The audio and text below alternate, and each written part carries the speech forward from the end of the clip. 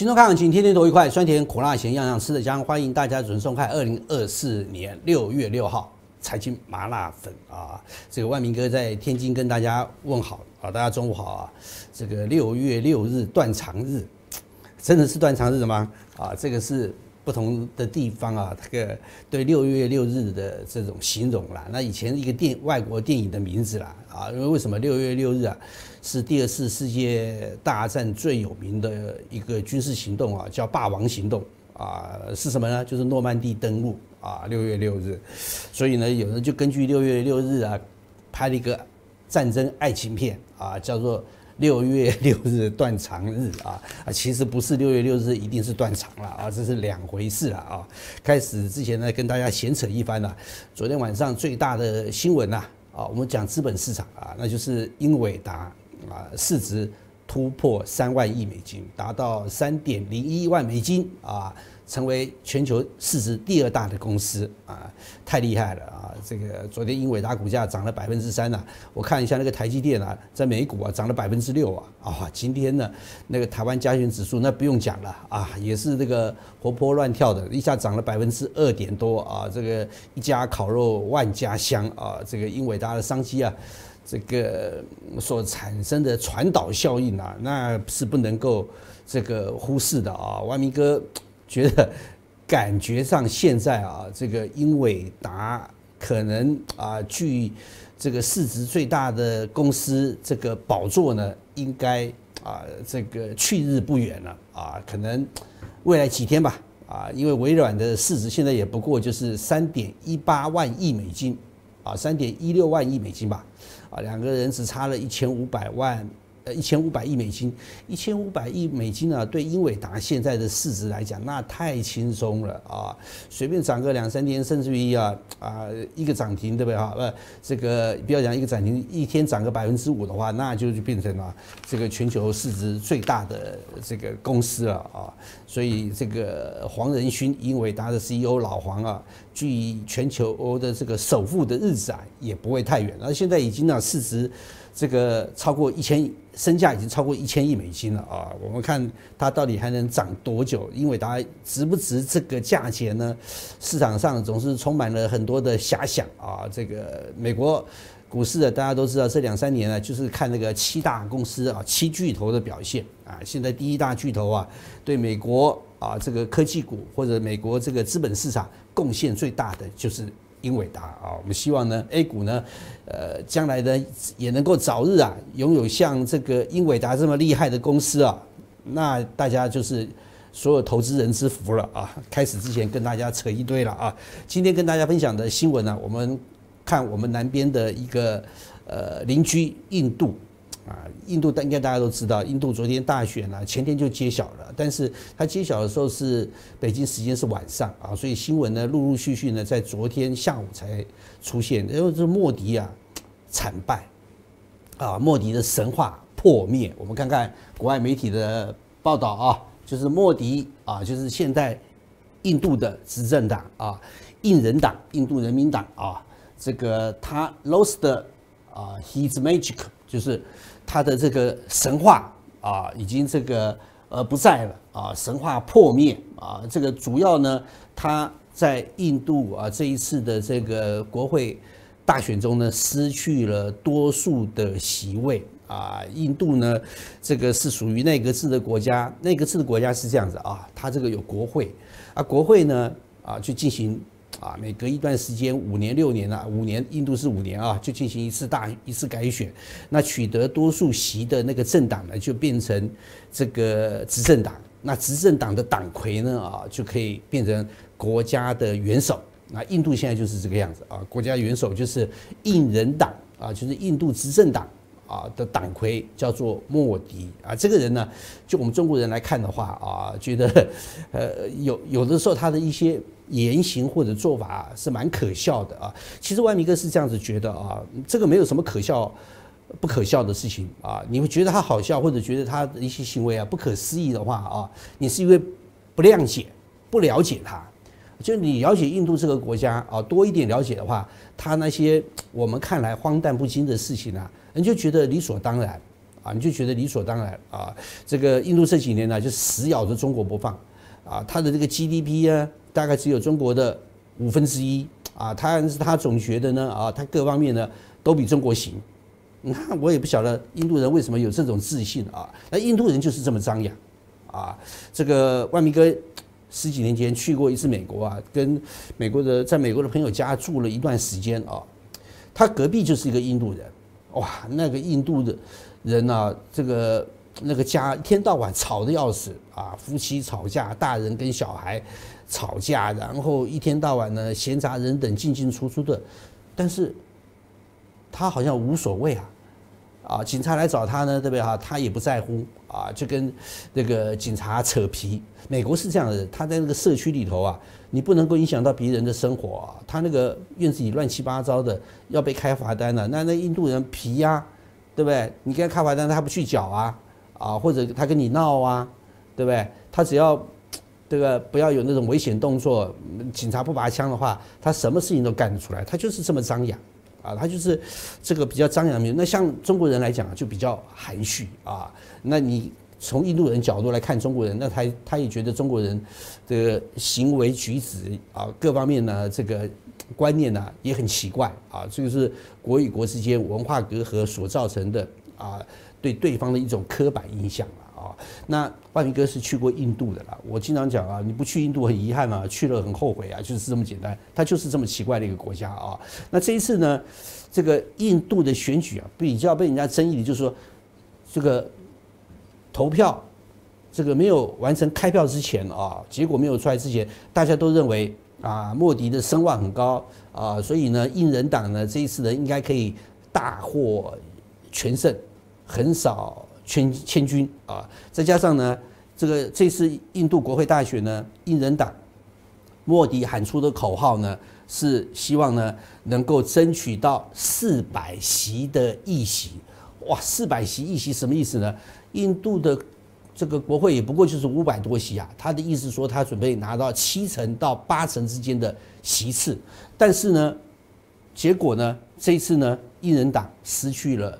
这个多数席次啊，这个要多数席次必须到二百七十席以上，他二百七十席都达不到，他本来还有三百零三席的，这一次选完以后变成两百四十席啊，他要阻隔的话，他要组成政府的话，跟必须拉其他的小党啊，让议会的席次过半以后，他才能够阻隔啊，所以呢，过去那个啊这个一边倒的那种优势啊，已经不在了。那最奇怪的就是啊，这个投票完了以后啊，啊这个。很多这个呃选举的调查机构啊，他会在那个投票所的外面啊啊随机的进行抽样的这个调查啊，这个叫做出口民调啊，就投完票以后呢，出来问你说你投给谁呀？啊，就是大概就是这样子。那出口民调本来是认为他印人党啊，这投完票的对投完票的这个选民啊进行调查，认为他可以拿到三百五十席。到三百八十席，那他就赢了，因为上一任他就有三百零三席啊。那不管是三百五还是三百八的话，对不对？那就比上一次掌握的席次多啊，他更具有那种啊无可取代的这种执政优势。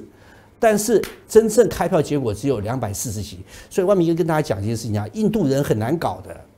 他到投票所投完一票以后呢，他明明投给啊这个印人印这个。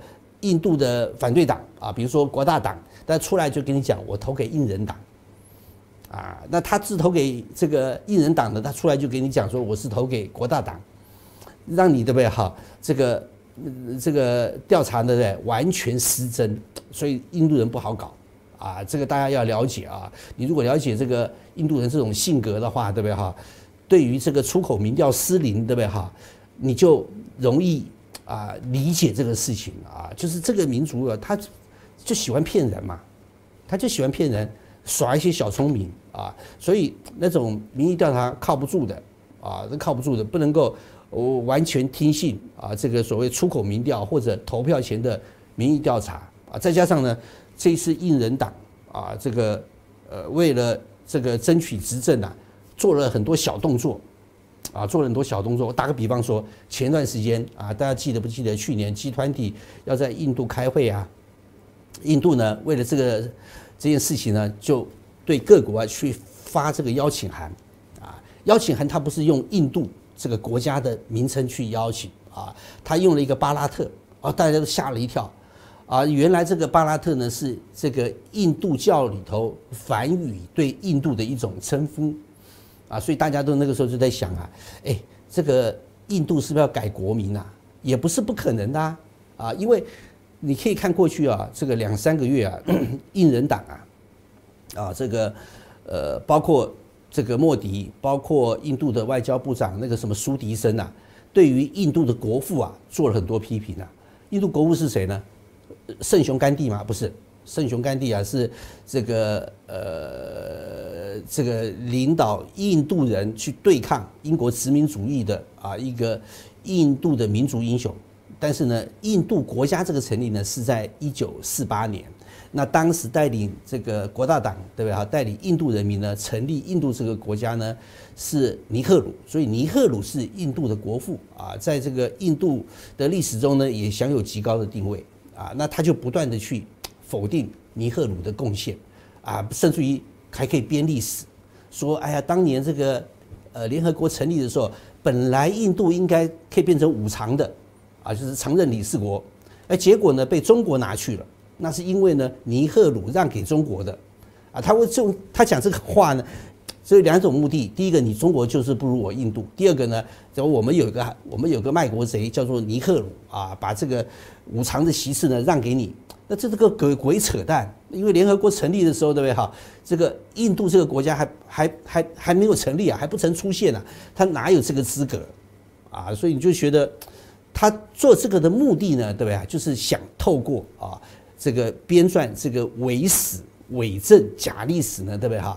来重新塑造印度啊，那谁能当新印度的国父呢？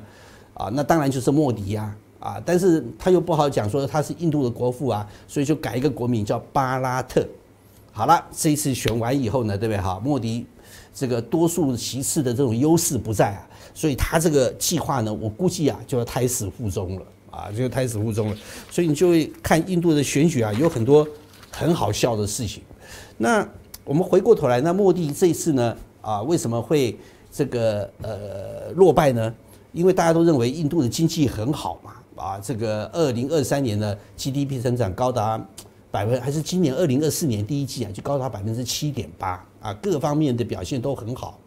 哇，就像印度的天气一样啊，这个呃高温到五十二度、五十三度啊，这个在选举的过程中呢，有几十个候选人呢热死了啊，在印度的选情还有这个莫迪啊的受到老百姓的爱戴，就像印度的太阳啊，高高的挂在天空，不可撼动啊。其实真的是这样子吗？如果真的是这样子的话，他这次也不会输得这么难看。啊，这个根据国外媒体的报道啦，啊，包括 CNN 呐，包括华尔街日报啦，包括路透社，大家归咎起来啊，印度啊，这个莫迪这次啊会失败的原因呢，大概有三个原因。第一个，通货膨胀太严重了啊，太严重了，严重到失控啊。这个通货膨胀，其实在这个过程中啊，多数老百姓啊啊都会受到多多。多多少少的伤害啊，这个很多人都讲说，哎，通缩很可怕，比通胀更可怕。万明哥跟大家讲一件事情啊，那是因为长期通缩的结果，你才认为通缩很可怕。通胀对不对？哈，猛如虎啊，对不对？它比通缩严重的多。为什么呢？你通胀的过程中啊，财富进行重新的分配，多数的老百姓，百分之九十的老百姓，中产阶级拿不到好处的。啊，你说经济成长好啊，通胀啊，啊对呀，那通胀所呃这个经济成长造成的通胀是对哪些人有好处呢？啊，是对有钱人有好处啊，啊，那有钱人当然是说经济好啊，但是没有钱的人呢，他注重分配呀，所以呢，你就晓得哈，像我们这个国家对不对哈，他宁可把这个所谓通货膨胀控制在我们一般认为。温和或者合理通货膨胀百分之二以下啊，甚至很多人说是通缩，但是这对多数老百姓来讲，对不对？哈，比较没有生活上的压力。但印度不一样啊，呃，通货膨胀啊都是十几啊，百分之七啊，百分之八啊，这个是很大的问题啊，所以呢，这个大家不要认为啊，股价不涨是因为通缩啊，我们把通胀这个烧起来以后呢，股价就可以涨上去啊，对对对，这个不是没有道理啊，但是呢，它也会产生一些副作用。那第二个问题呢，就是失业率。我们看这张图啊，所显示的，印度现在整体的官方的这个调查的失业率是百分之七点三啊，但是呢，十九岁以下的啊这种年轻人呢，他的失业率呢是百分之五十三啊，那三十岁的以下的年轻人呢，他的这个呃失业率呢是百分之四十四，实际上的情况对不对？比官方通告的还要高。啊，整体这个印度的啊，这个失业率，有人估计啊，全体的失业率应该是在百分之三十以上，啊，因为这个是民间啊一些这个机构啊他们的调查，啊，这个不被大家所不被大家普遍这个作为啊正式研究或者调查所这个采取的这个呃基本数据，但是大家都知道印度的情况没有那么好。啊，因为这个万明哥以前去印度的时候，满街都是乞丐啊，满街都乞丐，而且印度乞丐对不对哈？跟咱们中国的乞丐不一样啊，人家人家乞丐要钱要的很光明正大啊，很理所当然呐，啊，他觉得他这辈子当乞丐对不对哈？那是他的命啊，就是这样子。印度教嘛，它就是一种属于出世的宗教啊。我这辈子穷，这辈子当乞丐，我好好的这个做好呃或者尽当乞丐的责任的话，我下辈子对不对就可以进入到一个更高阶层的位阶啊。这个种姓制度大家都知道嘛啊，什么婆罗门啊，什么沙利赫啊，什么啊，反正就是那一套东西就对了啊。这个每一个人生下来以后呢，就要在宗教意识形态之下呢进行修炼。啊，目的呢是为来世啊能够投胎啊，能够进入更高等级的这个种姓呢，对不对哈？做好准备啊，这就是印度教的这个基本教义啊。你所以你理解以后啊，你就没什么好奇怪了。我们看 PPT 啊，这个右边呢，万明哥替大家所找出来，这也是啊这个国这个印度官方啊呃所做的调查啊，你可以看得出来，它的城市的这个呃参与率呢，就是。这个劳动参与率呢只有百分之三十八，农村呢是百分之四十一啊。那回过头来呢，失业率呢，城市是百分之十，农村呢是百分之七点四。呃，这个都是有点失真，实际的情况啊，可能比这个情况更严重啊。这个都会影响到啊，这个印度啊老百姓啊对这个执政党的看法。所以呢，很多媒体啊，包括印度国内的媒体啊。自己反省过来，就印度这个莫迪要搞经济的话，应该怎么样呢？就是回归到为普通人啊去做出有利的这种经济政策，而不是为少数人。那这个大家都检讨的结果呢，就是莫迪呢在过去十年的执政中啊，对不对哈？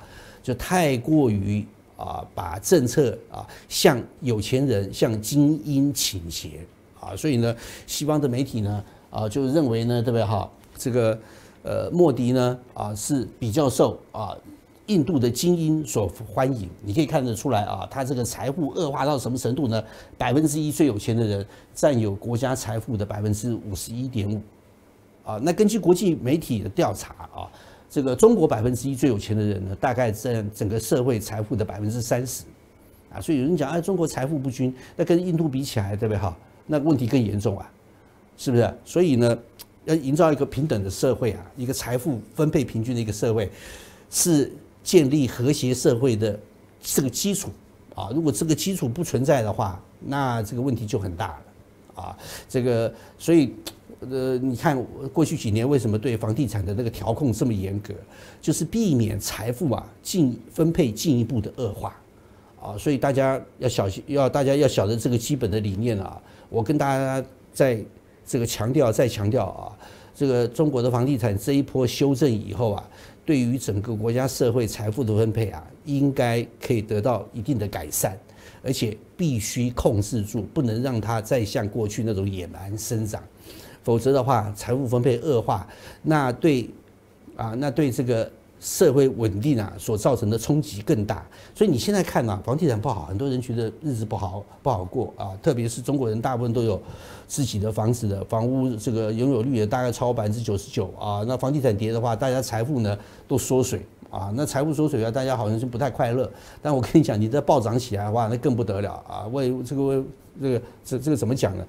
你不要光看那个什么一线城市啊，啊或者什么准一线城市啊，你要看那个三线城市、四线城市啊，啊那个房地产那个飙涨起来所造成的这个呃相对的这种剥夺感，那更强啊！啊，我们可以看得出来啊，那这个最没钱的百分之六十的人呢，只拥有国家财富的百分之四点七，你想想看。严不严重？呃，太严重了。所以大家可以看得出来，这几年万明哥都去看到这个前段时间好像富比士吧，对不对哈？福布斯啊，这个发布的一个什么全球亿万富豪啊，印度这个增加的最多啊，但你就晓得财务分配的恶化到什么程度。那这些有钱人呢，聚敛财富最好的方法呢，就是跟莫迪呀啊勾结在一起。啊，这个莫迪要钱就给他钱，要选举就给他资源啊。这个那那莫迪上了以后呢，当然就要政策上呢对这些有钱人呢去做倾斜嘛。那这个万明哥去找了一张图啊，这是英国经济学人这个所做的一个统计啊，就是 PPT 啊，右边这个图，右边这个图呢，它是比较啊全世界啊这个比较有影响力的啊这个所谓的。极右派政党，他们的政党还有这个领袖呢，对不对哈？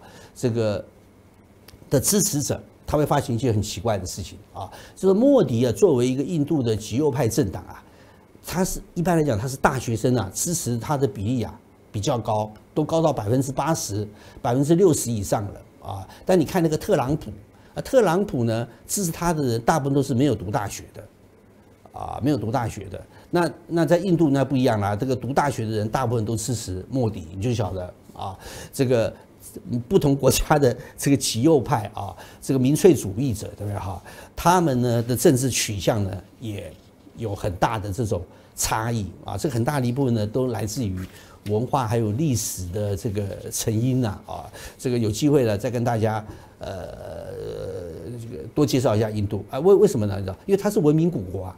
中国有五千年这个呃的这个历史文化，那印度呢啊，它的这个历史呢应该不会短于中国，也有五六千年啊，所以呢，这个中国人啊，这个思想文化非常的丰富，印度人呢，嗯，没有中国呃这么丰富啊，这个你这个怎么讲的？我跟大家举个例子啊，这是我自己的文化观察啊，你到印度啊，从南到北，从东到西啊，大家都吃咖喱。都吃咖喱，啊，这是饮食文化所强调的那个单一性。啊，你说那不同地区的咖喱，对不对？会有一些咖喱会有一些差别，那没有错。但是大家都吃咖喱。但是你看中国就不一样了啊！中国作为一个多民族的这个国家，对不对哈？从东到西，从南到北，每个地方吃的都不一样。啊，四川人喜欢西南地方人喜欢吃辣的，这个东北地区的人呢，特别好？这个就呃不喜欢吃辣的。那东南地区人呢？食物呢偏甜口啊，那这个西北地区的人呢啊，这个就没有吃甜的这个习惯啊，所以你就晓得不太一样啊。北方人呢吃羊肉，南方人呢吃猪肉啊，靠海边的人呢吃鱼肉，那跟印度啊不一样，因为它整个国家有一个单一的宗教去影响它嘛啊，所以印度百分之五十以上的人呐都是吃素的啊，因为印度教不杀生呐，杀生的话也不能够吃牛肉啊，也不能吃猪肉，那只能羊肉，只能鸡肉。啊，那中国不一样啊！啊，中国虽然有部分的宗教，那个不能吃，这个不能吃，对不对？但是呢，多数人是什么都吃，啊，什么都吃，甚至于讲不好听的话，我们国家很多穆斯林呢，他一样，他一样吃猪肉，一样吃鸡肉啊，这个是不不好讲，不好讲啊，这个不要不要这个去挑战人家那个宗教的神圣性啊。但是这个是一个实际的状况嘛，所以中国人受那个文化上受宗教的钳制啊。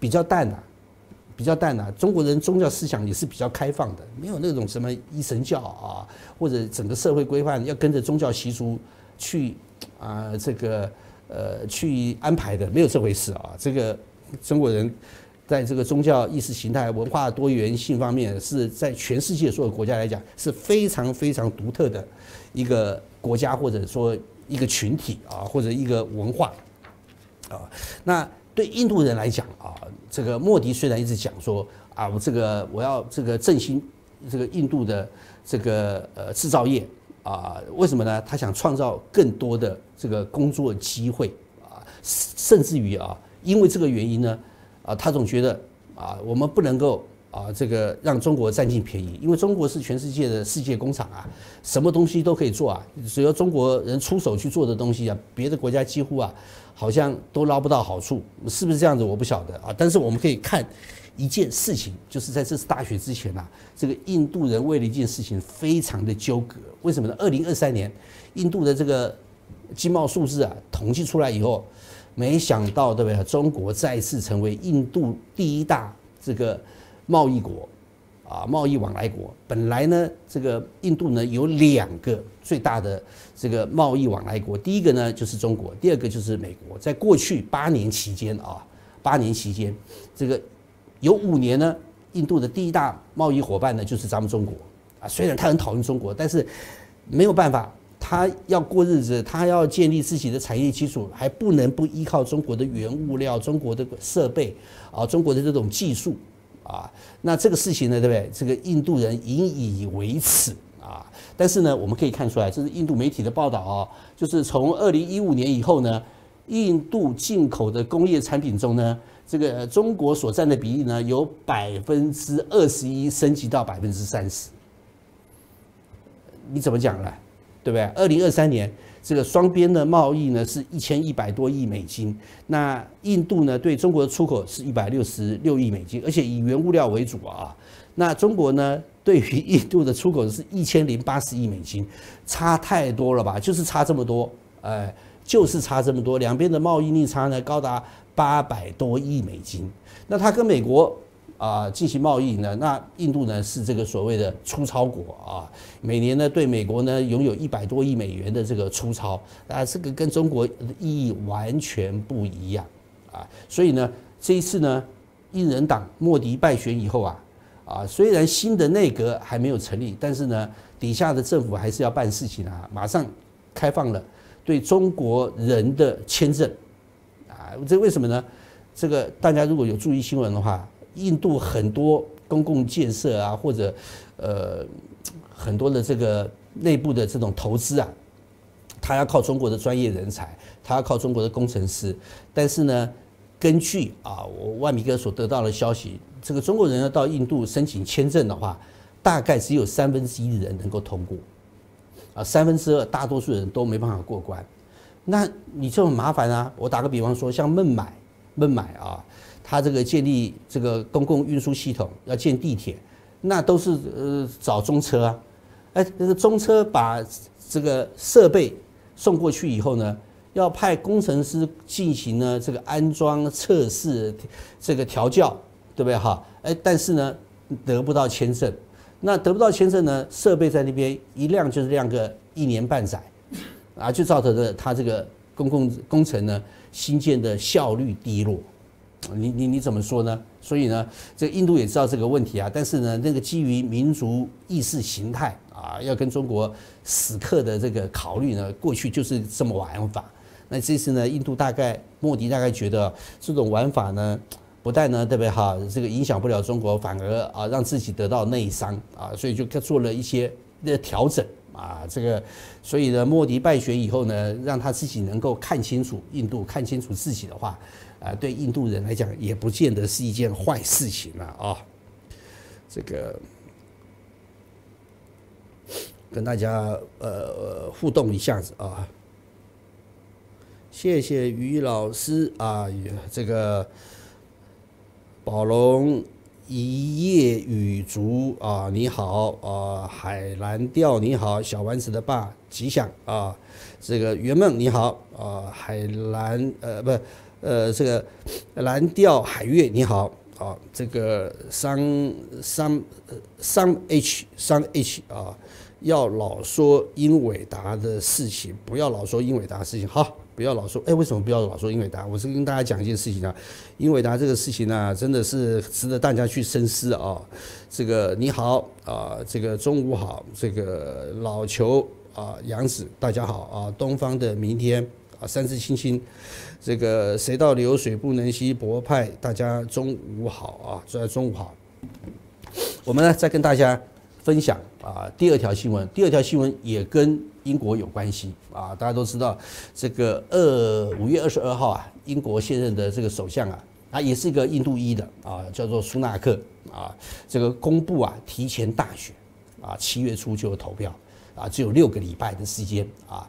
这个很多人呐，这个英国的政治观察家说，啊，这一次苏纳克对不对？突然呐，提前宣布啊，提前解散国会。啊，然后这个呃进行大选啊，这个有点突然性，但是呢事出有因啊，为什么呢？我们可以看得出来啊，英国这一段时间，特别是新冠疫情过了以后啊，因为各国都降息嘛，那再加上俄乌战争啊所造成的冲击啊，通货膨胀很严重，但是呢，最近的英国通货膨胀啊。创下来将近三年来的新低啊！五月份的通货膨胀率呢，只有百分之二，呃，不是啊，是四月份的通货膨胀率呢，只有百分之二点三，估计呢五月份还会再降低一点啊。那这个情况之下呢，苏纳克就觉得应该趁火打铁趁热啊，因为过去几年啊，他当过英国的财政部长啊，他当然财政大臣啊，他当然知道啊，英国老百姓啊。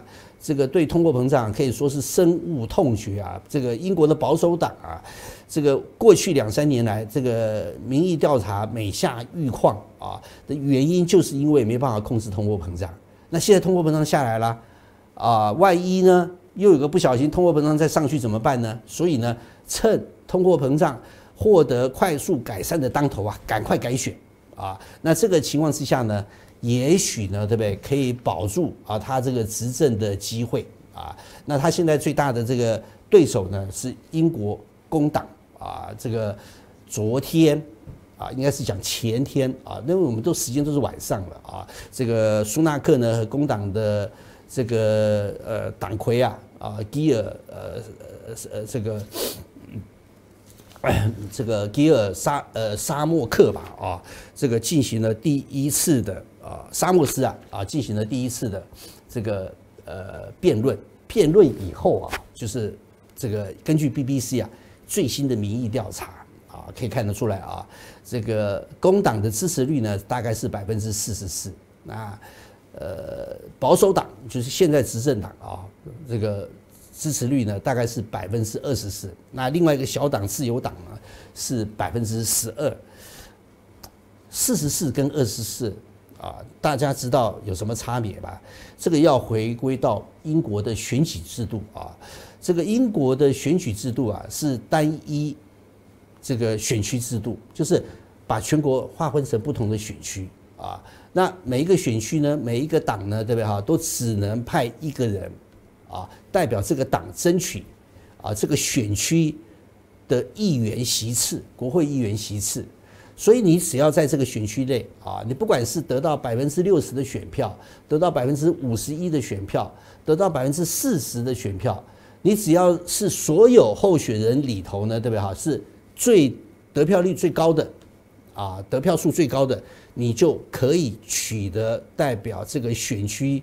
啊，这个国会议员的席次，啊，就是说，哎，我这个呃，根据这个民调啊，这个工党呢只有百分之四十四，我在这个选区只有百分之四十四，那还有百分之五十几的人都不支持我啊，那没关系啊，那因为另外百分之五十四的票呢是被这个保守党啊，是被工党啊，是不不是被自由党啊，是被什么其他党啊，对不对哈？给给给给分给给分散了，只要不超过你的话，你就。可以赢得这个地方的席次，所以百分之四十四啊，其实意味着啊，他在全国各地啊有极高的啊极高的这个获胜的可能性啊，所以呢，按照这个比例啊，英国工党啊，这个七月份之前呢，除非出现大事情啊，否则的话，工党这个呃执政呢已经是囊中之物了啊。那更重要的是，昨天还有一个人专门跟保守党过不去的叫做法拉奇，法拉奇是英国的一个独立派的政治人物啊，但是意识形态上比较倾向保守党。那他干了一件事情啊，就是上次英国脱欧的时候，法拉奇是领袖啊，就是在他不断的这种串联之下啊，这个呃活动之下呢，对不对哈？呃，把这个英国脱欧啊，形成了一股不可抗逆的这种潮流，最后呢就造成英国脱欧。脱欧，那他这次也要搞一个小党出来选，那他出来选的结果呢，那就让这个保守党的这个力量呢进一步的分散，啊，这个等于呢，这个让这个苏纳克本来这个盘算好的一盘棋呢，因为法拉奇的这个这个出现呢，参选呢，对不对？被彻底打乱。啊，所以保守党啊，这个最后选举的结果啊，可能不但不能够因为呢，这个苏纳克提前啊宣布这个改选国会，呃，国会改选而得到好处呢，说不定呢，对不对？还有更大的这个副作用。但比较有一个好处就是，英国现在苏格兰独立的这种气氛啊，啊，有点下降。啊，这个在苏格兰地区啊做的这个民意调查里面呢。最大的这个呃支持度最高的政党呢，就是工党，那其次呢才是这个苏格兰民主党啊。那这个结果呢，那就可以啊，这个让苏格兰独立的啊这种意识呢，或者企业呢得到一定的控制。哎，那你说这个过去几年苏格兰天天要闹独立，为什么最近？这个独立的企业没像以前那么高，那这个很简单嘛。那保守党花了很多功夫啊，对不对哈？在政策上呢，对不对哈？向苏格兰倾斜啊，比如中央政府啊，这个虽然没什么钱呐，但于对于啊这个苏格兰呢，对不对哈？给他的补贴呢，对不对哈？有增无减啊，这些都是呢要经营自己选票最重要的一个方法。那接下来再跟大家谈一个新闻啊，昨天。国外很多媒体啊，CNN、英国金融时报、彭博社都讲啊，这个美国的情报单位啊，就发现一件事情，这个中国透过透过一定的关系呢，对不对？不断的在延揽北大西洋公约组织成员国的飞行员啊，帮助这个中国呢这个训练飞行员啊，影响到国家安全。我跟大家讲一件事情，这个新闻根本就是鬼扯淡啊，就是胡说八道啊。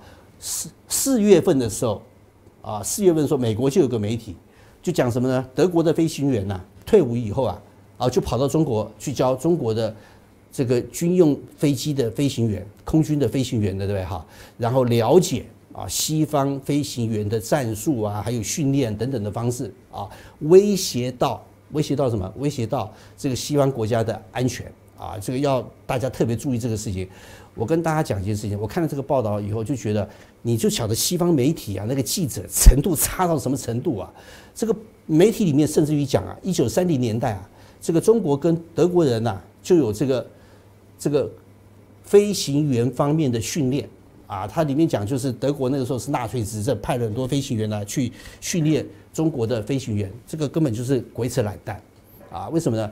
因为你在抗战之前啊，中国用的飞机啊，初期是美国的。后来用苏联的，最后来呢又用美国的啊！大家都知道那个飞虎航空队是美国的，那飞虎航空队没来之前呢是苏联援华的航空队。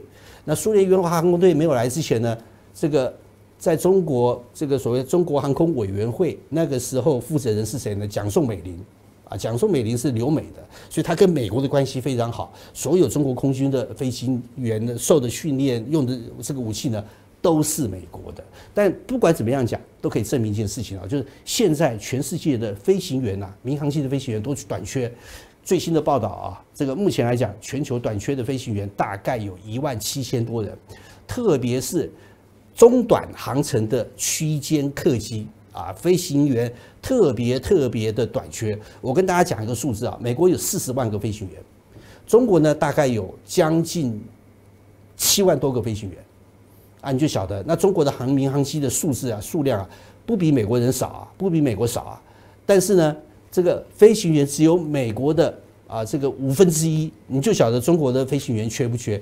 所以在这个情况之下呢，就有西方人所讲的，我们在新加坡、在老挝、在南非呢，呃，这个有飞行学校呢，专门 招收中国的飞行员在那边呢接受训练。那教官呢，都是西方国家的退伍飞行员，那这很正常的事情嘛。